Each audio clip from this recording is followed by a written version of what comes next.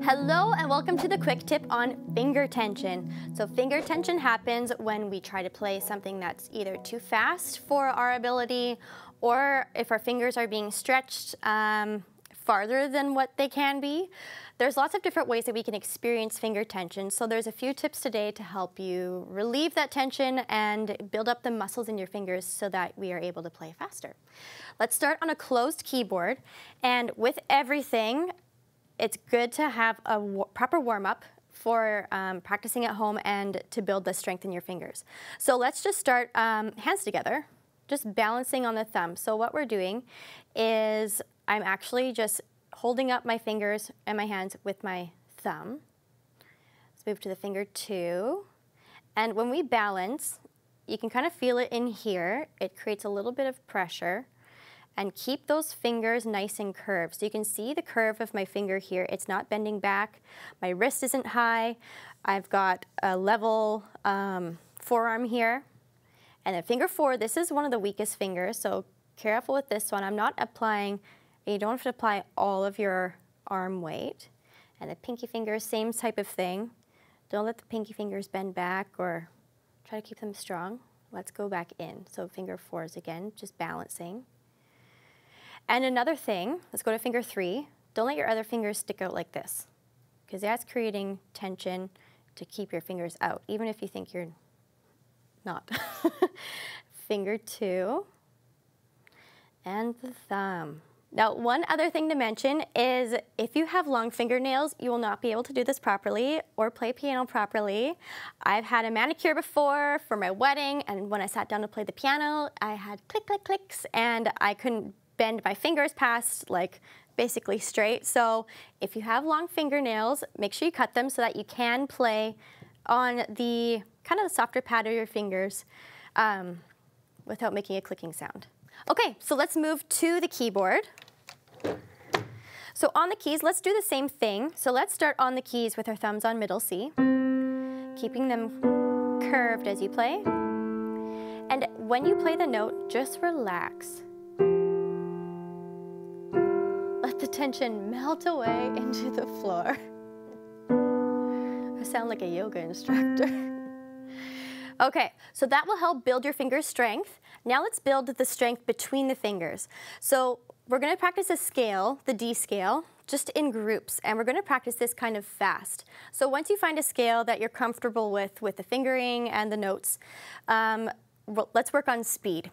So we're gonna play four notes at a time, and in quick succession. So we're going to repeat that group over and over. So the four notes are D, E, F sharp, G. So we've got the cross under under there.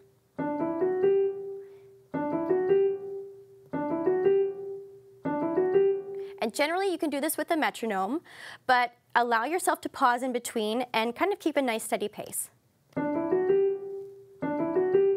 And keep the notes nice and even. So if you're finding that the thumb you're really landing on that, try to keep the thumb light.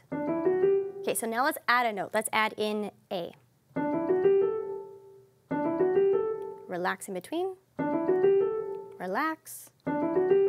Let's add the B. Relax. And let's add the C sharp.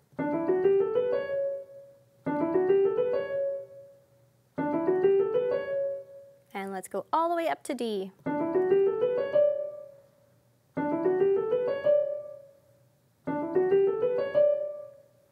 All right, so when you're practicing these, remember to give yourself an, an, amount of time to rest in between because you don't want to be stressing your hands and really working out a lot because what we are doing now is working out our hand muscles so that they're getting stronger and just like working out other parts of our body, you don't want to overdo it because you don't want to pull a muscle and you don't want to be super sore for later. Okay, so now I have an exercise for the left hand finger tension.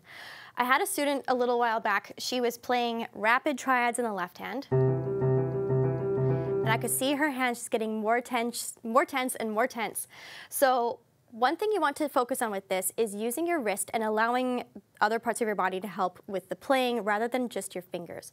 So with this left hand finger tension, if you have a rapid uh, triad pattern in the left hand, we're we're going to let the wrist help out along. So rather than just all these fingers doing the work, the wrist is going to be doing little circles behind the fingers, adding its own little movements and adding its own little weight so that it's not just the fingers.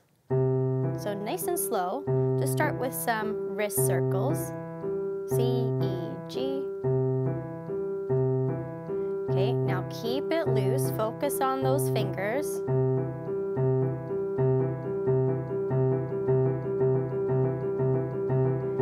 And basically when you get faster, it's the wrist moving low, and it's kind of making a little U shape. It's going, moving between each finger as it plays.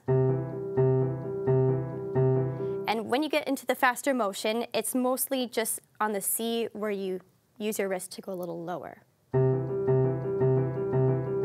So rather than the fingers doing all the movements, let other parts of your body help out with those fingers. All right, so with all this talk about finger tension and building strength, make sure three things. You practice away from the piano, build those muscles in your fingers, give yourself time to relax in between, and make reminders for yourself on any songs or any technique sheets that you have. I know my my songs and my sheets are full of different colors and different markings to remind myself different things. So try those out, let me know what you think, and we'll see you soon.